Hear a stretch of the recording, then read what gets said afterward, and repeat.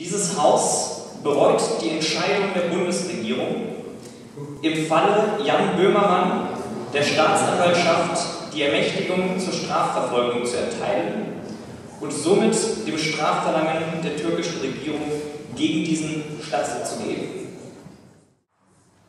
Sehr geehrte Damen und Herren, was wir von der Regierung hier eigentlich bereuen, ist eine politische Entscheidung, die in diesem Paragraphen zugelassen wurde und die aus unserer Sicht von der Bundesregierung falsch getroffen wurde.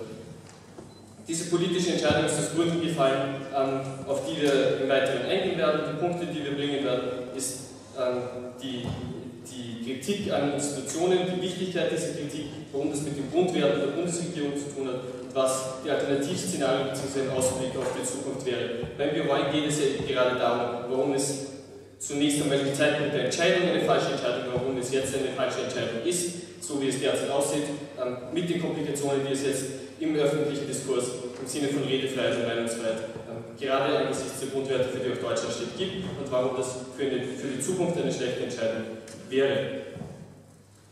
Wir sind also der Ansicht, es handelt sich hier um eine politische Entscheidung, die ist in diesem Paragraph, in Paragraph 103 des Staatsgesetzbuchs auch ganz eindeutig vorgesehen. Ähm, wir finden die Entscheidung, die Bundesregierung hier gefällt im Wesentlichen eine zwischen einem politischen Deal, nämlich mit Erdogan, ähm, Zusammenhang mit der Flüchtlingskrise im konkreten Kontext, aber auch ein bisschen dieses Appeasement gegenüber der Türkei, gegenüber dem türkischen Regierungschef. Ähm, und die Abwägung, die sie da getroffen hat, gegen sie sich entschieden hat, ist damit das Eintreten für deutsche Grundwerte und insbesondere natürlich für die Meinungsfreiheit, die einer der höchsten Grundwerte ähm, der Bundesrepublik ist und für einer der höchsten Grundwerte, für den wir äh, in Europa auch stehen.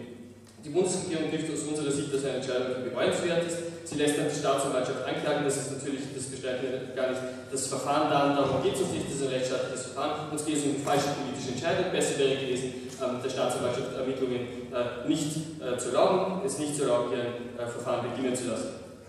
Daher, warum ist denn ähm, die Kritik an einer solchen Institution eigentlich wichtig? Dazu müssen wir zunächst, nein, danke, warum Sie noch nicht, dazu müssen wir zunächst einmal das Problem verstehen. Das Problem äh, ist sozusagen zweierlei. Auf der einen Seite haben wir mal einen eigentlich konsensual ist obsolet betrachteten Paragraphen, nämlich einen des Strafgesetzbuches, der aus dem ich denke 19.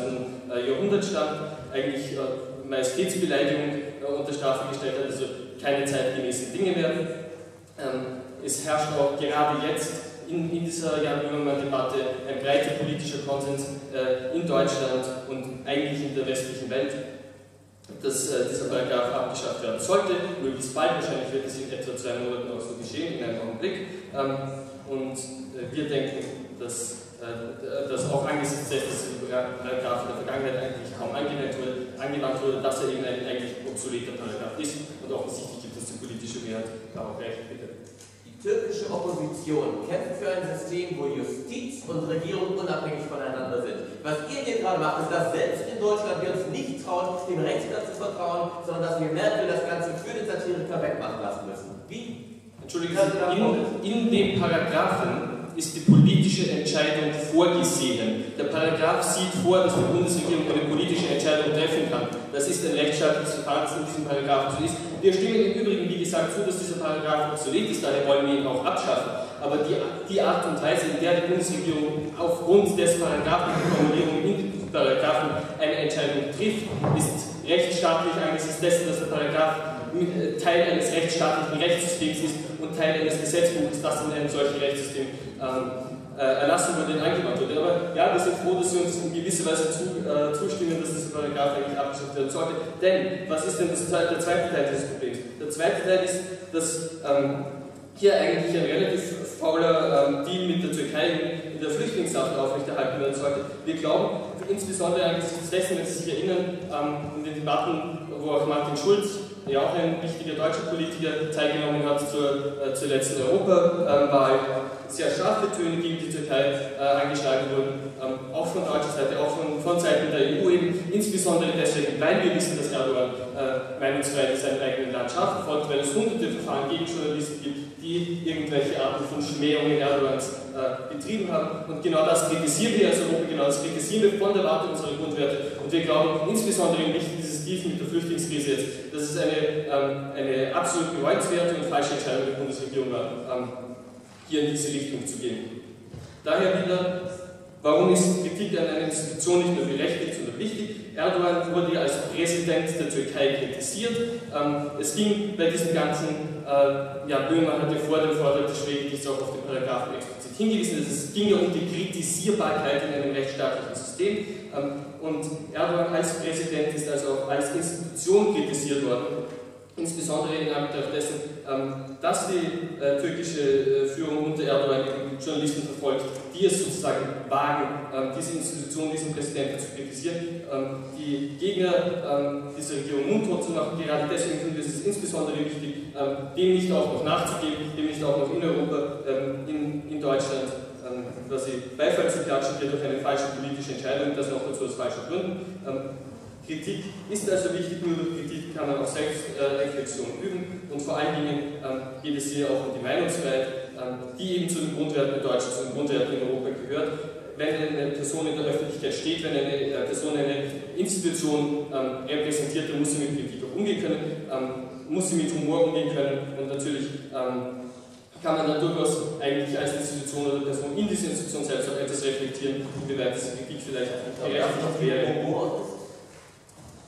Äh, können Sie jetzt natürlich so und so sehen. Ich denke, einige Leute würden es als mal betrachten, andere vielleicht als Beleidigung. Punkt ist, es ist Meinungsfreiheit. Ähm, damit zur, zur Aussicht auf die Zukunft. Was wäre denn passiert, wenn sich die Bundesregierung also anders entschieden hätte, nicht so, wie sie sich jetzt entschieden hat? Denn was jetzt passieren wird, ist, dass wir wahrscheinlich diesen flauen äh, Flüchtlingsdeal mit der Türkei aufrechterhalten und dafür unnötigerweise, wie wir meinen, ähm, dann gleich auch unser Alternativszenario dazu, unnötigerweise, wie wir meinen, ähm, also unsere Meinungsfreiheit an den Pranger einfach hergeben ähm, für äh, den türkischen Glauben, was im Alternativszenario passiert wäre, ist, ähm, dass die Türkei dennoch auf diesen Flüchtlingsdeal äh, eingegangen wäre, egal was wir davon, äh, davon moralisch halten mögen, denn da fließt eben viel Geld, da geht es auch um rationales Handeln. Wir glauben, dass Präsident Erdogan und die türkische Regierung durchaus rational genug gewesen wäre, nicht einen ähm, einen Deal, in dem sehr viel Geld fließt, einfach nur herzugeben, weil Präsident Erdogan sich jetzt einen von hunderten Verfahren beleidigt fühlt und weil die deutsche Bundesregierung sich weigert, in dieses 101. Verfahren auf deutschem Boden gegen deutsche Grundwerte auch noch zu gönnen. Wir glauben, das ist sehr schlecht und daher bereuen wir ähm, diese Entscheidung aus der Sicht der Vergangenheit, der Gegenwart und der Zukunft.